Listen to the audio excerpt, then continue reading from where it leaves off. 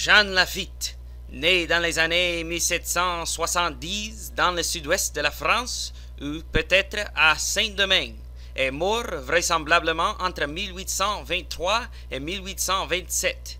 Est un flibustier français qui écumait le golfe du Mexique au début du XIXe siècle.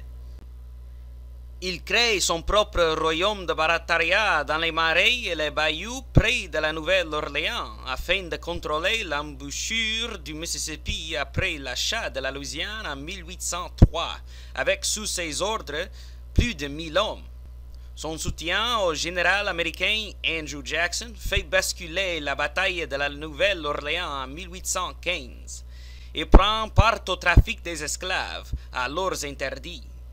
Son frère Pierre et lui fondent ensuite Galveston, premier port cotonnier du Texas, où ils espionnent au service de l'Espagne contre les révolutionnaires mexicains entre novembre 1815 et juin 1816, selon les archives espagnoles à Séville. De nombreux sites en Louisiane et au Texas portent son nom.